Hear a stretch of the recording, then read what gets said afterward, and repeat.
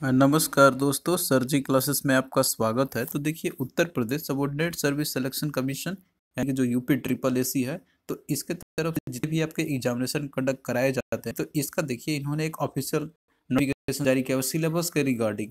तो सिलेबस जो आपके रहेंगे पीईटी एग्ज़ाम के लिए तो वो आपका जारी कर दिया गया आप लोग यहाँ पे देख सकते हैं, ऑफिशियल वेबसाइट पे आने के बाद। तो इसमें नीचे आप लोग जाना है, यहाँ पे आप लोग नोटिस बोर्ड में तो इसमें आपको यहाँ पे मिल जाएगा, जो कि प्रारंभिक परीक्षा आपके होने वाले हैं।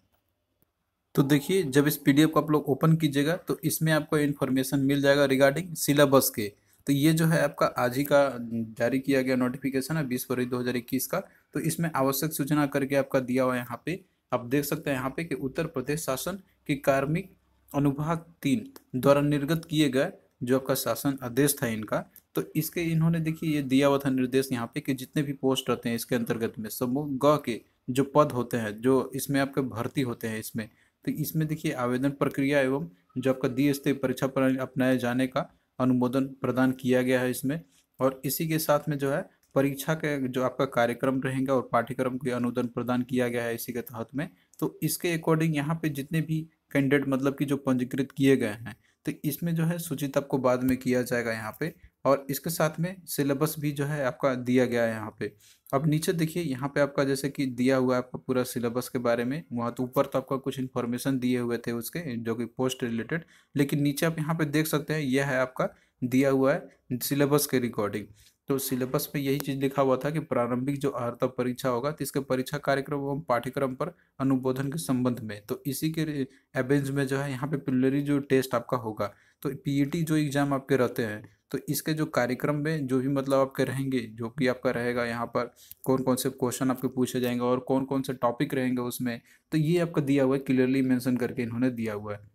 तो इसमें देखिए, उत्तर प्रदेश अधिनियम सेवा चयन आयोग के द्वारा आयोजित की जाने वाली प्रारंभिक अहता परीक्षा, यानी कि जो पीटी जो परीक्षा आपका रहेगा तो इसका प्रास्ताविक जो पाठ्यक्रम आपका है तो ये सारी चीज़ है। तो इसमें देखिए आपका जो पीटी का परीक्षा रहेगा तो उसमें आपके प्रश्नों की संख्या टोटल हंड्रेड रहेगा और इसका जो ड्यूरेशन रहेगा, आपका दो घंटे का रहेगा और मार्क्स आपके रहेंगे हंड्रेड यानी कि हंड्रेड क्वेश्चन हंड्रेड मार्क्स का और टाइम आपके पास है दो घंटे का। तो इसमें देखिए कौन कौन से क्वेश्चन आपके पूछे जाए कौन कौन से पोर्सन से तो इन सभी का डिटेल में यहाँ पे दिया हुआ है। जैसे हम बात करते हैं इंडियन हिस्ट्री का, जो भारतीय इतिहास है तो इसमें आपके पाँच क्वेश्चन मतलब पाँच अंक रहेंगे, पाँच क्वेश्चन रहेंगे आपके। तो इसमें देखिए सिलेबस दिया है कौन कौन सा है।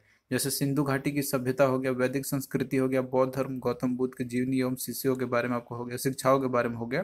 उसी तरीके से जैन धर्म के महावीर जैन की जीवनी और शिक्षाएँ के रिलेटेड आपका है। उस तरीके से मौर्य वंश हो गया, गुप्त वंश हो गया, हर्षवर्धन, राजपूत काल हो गया।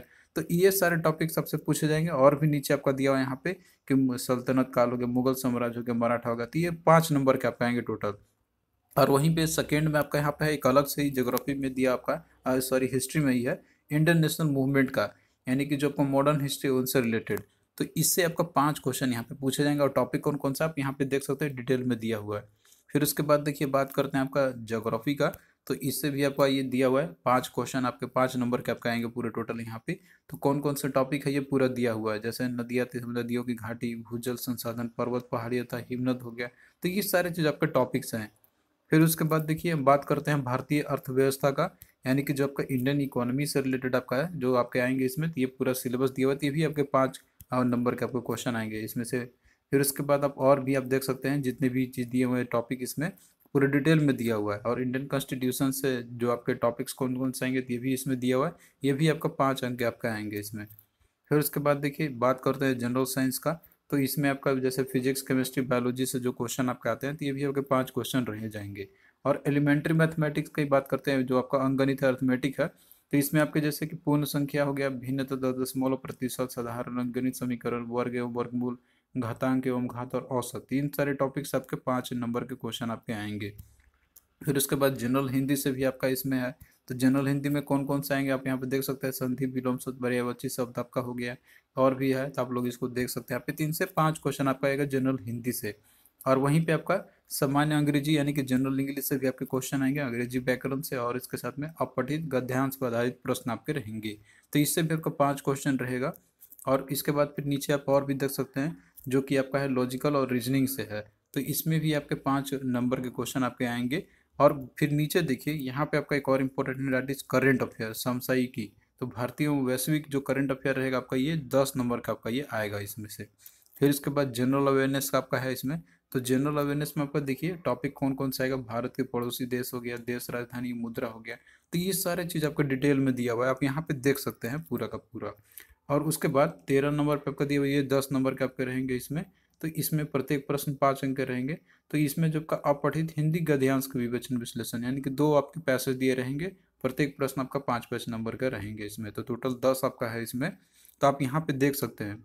फिर इसके बाद अगला आपका इसमें दिया हुआ है कि ग्राफ की व्याख्या एवं विशेषांक दिया हुआ का इसमें दो ग्राफ रहेगा, प्रत्येक पाँच पाँच का ये दस नंबर का रहेगा। और उसके बाद फिर आपका दिया हुआ अगला कि तालिका की व्याख्या एवं विश्लेषण। तो ये भी दो तालिकाएँ रहेगा आपका यहाँ पे डी आई बेस्ड क्वेश्चन आपके रहेंगे इसमें से। तो ये जो है आपका दस नंबर का दो दो क्वेश्चन रहेंगे इसके पाँच पाँच नंबर के। तो ये सारा चीज़ देखिए दिया हुआ है, पूरा डिटेल सिलेबस दिया हुआ है। तो टोटल यहाँ पे पंद्रह मतलब दिया हुआ सिलेबस आपके टोटल सब्जेक्ट मिला जुला के पूरे टॉपिक्स मतलब ऐड कर उसमें इंक्लूडेड है आपके सारे के सारे।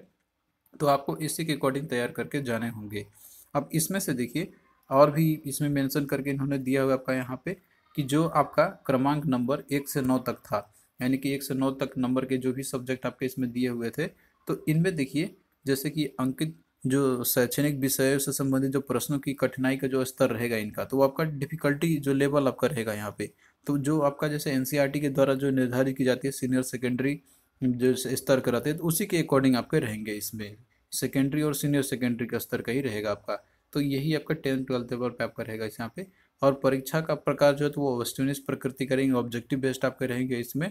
और वो मल्टीपल चॉइस बेस्ड रहेंगे क्वेश्चन और प्रत्येक गलत करने पर आपको वन फोर्थ मार्क्स सबकी कटौती भी की जाएगी। तो निगेटिव मार्किंग भी इसमें आपका है। वन फोर्थ आपका इसमें जो है काटा जाएगा नंबर तो यहाँ पे जो आपका सिलेबस जारी कर दिया गया है, यहाँ पे आपका that is UP triple S का। तो यूपी ट्रिपल एस में देखिए, जिस भी एग्ज़ाम आपके होंगे, जिसमें कि पीईटी एग्ज़ाम आपके होंगे, जो आपका प्रिलिनरी एलिजिबिलिटी टेस्ट जो आपका रहेगा, इसका पीईटी का तो उसमें आपके ये सारे टॉपिक्स आपके आएँगे।